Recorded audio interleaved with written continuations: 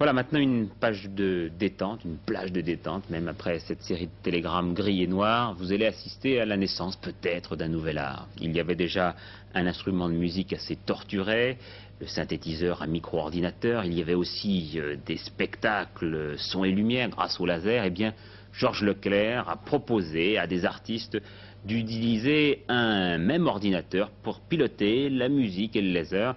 Le résultat, vous allez le voir, est assez étonnant. Oui, regardez ces formes géométriques, elles sont dessinées par un laser, elles suivent le rythme de la musique dans leur forme et dans leur mouvement.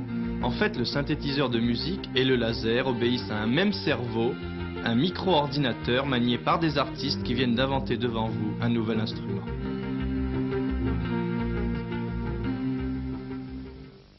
Chaque mouvement de ces petits miroirs est en quelque sorte une note. L'effet lumineux peut être puissant ou obscur, la lumière concentrée ou étalée, le balayage lent ou rapide, et cela en fonction de la musique.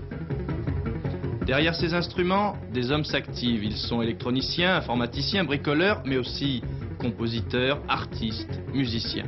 Le côté lumière, c'est l'équipe de Laser Graphics. Elle assure entre autres la comédie musicale Moïse, qui passe en ce moment à Paris.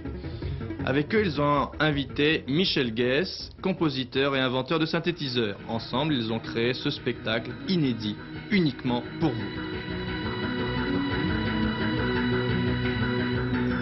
Est-ce là un nouvel art qui est en train de naître? Peut-être, à condition que son usage ne soit pas réservé aux boîtes de nuit, à condition que ces jeunes puissent continuer à s'exprimer, à construire leurs appareils, à pouvoir montrer leurs œuvres. Ils sont un exemple artistique de ceux qui ont compris ce que l'on pouvait réaliser avec un micro-ordinateur. Plutôt que d'en avoir peur, il faut le maîtriser. Par exemple en pratiquant le concours micro lancé par la mission informatique et Antenne 2.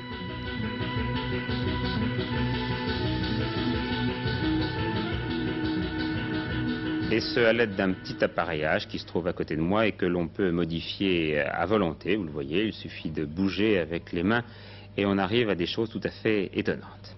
C'est donc le laser système Georges Leclerc. Coupe de France